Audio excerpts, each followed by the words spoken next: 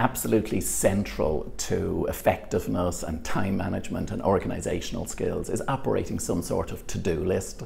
I often say to groups when I'm working with them, you know, if, if you don't have some sort of to-do list, you're not even at threshold when it comes to competency in this area. And one of my favorite sayings here is like, you know, ink it, don't just think it, get it out of your head and get it down on paper. And of course, there's many people out there, probably a little like myself, that we, we can sometimes write things on a to-do list after we do them for the pure pleasure of crossing them off.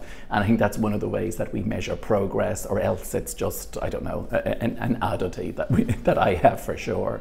Um, as well as having a to-do list, of course, we can play with the words a little. We can also have a not to-do list. You know the way you come across that phrase that's uttered everywhere about working smarter?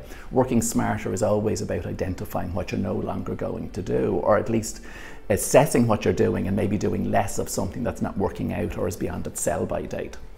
So a not to do list can be equally effective.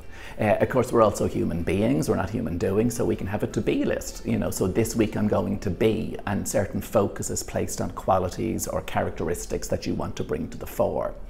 Uh, at the heart of uh, time management and organizational skills is knowing your priorities. And anyone who knows me knows I like words, it's probably the writer in me. And priority comes from the Greek a priori, meaning the most important. So, strictly speaking, it cannot be pluralized.